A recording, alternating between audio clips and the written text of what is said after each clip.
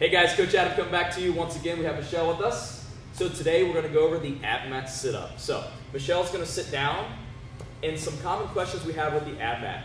You do not have to use this for sit ups, um, but what this does is there's two curves here. It helps keep your spine straight when you lay down. If this side doesn't feel good, you can spin it around to this. It's a little bit more angled.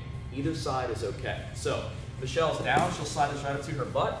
She's going to lay back down on it and that should feel good. If it doesn't, she can spin it and use the other side. And if she doesn't like it at all, she does not have to use it. That's fine. So she doesn't mind it, she uses it. So basic sit-up, she's gonna do two sit-ups. Perfect. So feet on this, guys. This is pretty simple stuff here.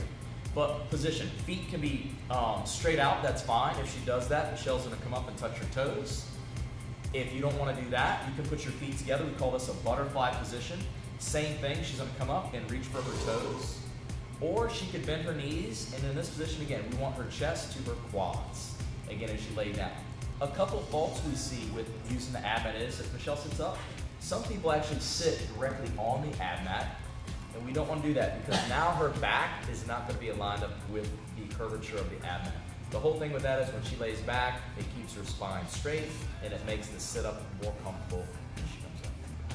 Pretty much the ab sit up, guys.